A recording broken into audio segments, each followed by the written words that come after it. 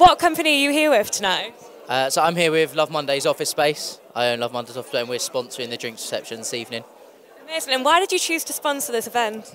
Uh, I have to tip my hat a little bit to uh, Andrew, who I met uh, about a year ago now at a different event, and he told me all about the SME Awards, and he told me how well, uh, you know, how important it is.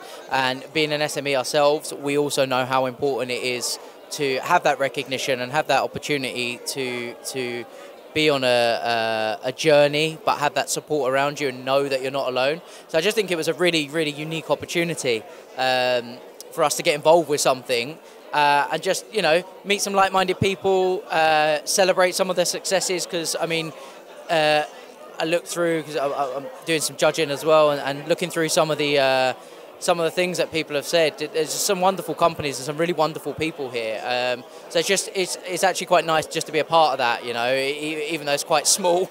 um, but yeah, I, I just find that quite a nice touch. Absolutely. Even talking to people tonight, it's been so like gorgeous to see how excited people are to even be nominated. Like the trips that people have made from all around the UK to be here tonight. It shows why stuff like this really matters. Well, this is it. I mean, uh, we are a, a, national company. We help people all up and down the country, um, and giving like seeing and talking to people, realizing that the UK is bigger than just London. There are so many other places out there, and like we say, there are so many great companies doing really good things. Um, you know, there's sustainability awards. There's recognizing people who have, have been really good in leadership, um, and that's something that's quite close to my own heart as well.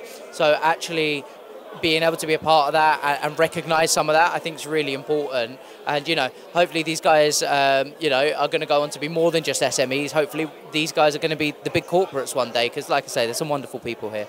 Brilliant. Thank you so much, and thank you for sponsoring as well. now enjoy your drink that you've technically paid for.